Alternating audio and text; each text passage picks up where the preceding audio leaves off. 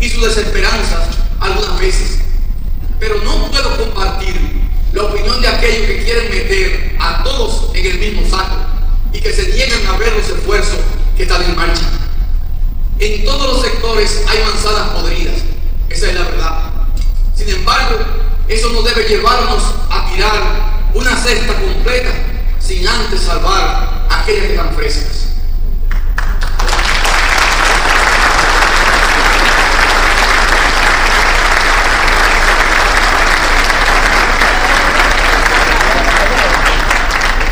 Como presidente, no estoy dispuesto a aceptar esa generalización. Debemos dar la batalla desde el rigor, la verdad y la justicia, no desde la casa de brujas o el oportunismo político. No les quepa duda, este gobierno se ha propuesto impulsar el cambio de mentalidad que el país venía pidiendo desde hace décadas. Un cambio que se resume en pasar del imperio de la excepción al imperio de la ley